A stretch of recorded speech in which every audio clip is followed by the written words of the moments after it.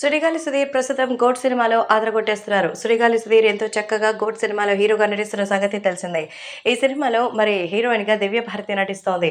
So తాజాగా Sudheer gourd సినిమాకి సంబంధించి షూట్ చేస్తుండగా ఆ సెట్లోకి అడుగు పెట్టిందట మన Rashmi Gautam.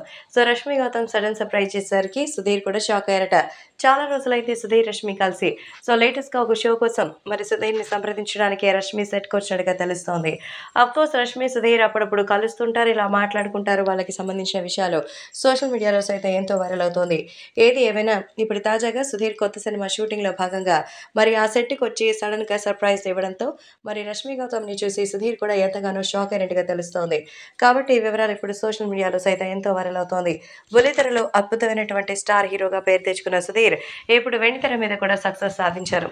జబర్దస్త్ లోను శ్రీదేవి డ్రామా కంపెనీలోను డీలోను సుధీర్ రష్మి బాండింగ్ అయితే చాలా స్పెషల్గా ఉంటుంది. ఇప్పుడు తాజాగా రష్మి గౌతమ్తో కలిసి మరి ఆయన మళ్ళొకసారి షో చేయబోతున్నారట.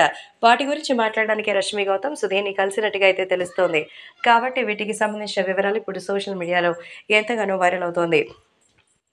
ఇక సుధీర్ బుల్లితెర సినిమా విషయాలకు వస్తే అంటే ఒకప్పుడు చేస్తున్న డీలోని కానీ జబర్దస్త్ కానీ ఇంకా శ్రీదేవి డ్రామా కంపెనీ కానీ రావాలని కోరుకుంటారు. సో శ్రీదేవి డ్రామా కంపెనీలోకి అయితే సుధీర్ త్వరలోనే వస్తారని తెలుస్తోంది. మరి ఒక కంటెస్టెంట్గా అంటే ఆ గెస్ట్గా వస్తారా? లేదంటే హోస్ట్గా వస్తారా అని ఎదురు చూస్తున్నారు. సో ప్రస్తుతం రష్మి సెట్కి రావడంతో మొత్తం అంతా సందడి వాతావరణం నెలకొంది. అక్కడ డైరెక్టర్ హీరోయిన్ సుధీర్ అందరూ కలిసి మరి రష్మితో ఎంతో హ్యాపీగా టైం స్పెండ్ చేసినట్టుగా తెలుస్తోంది.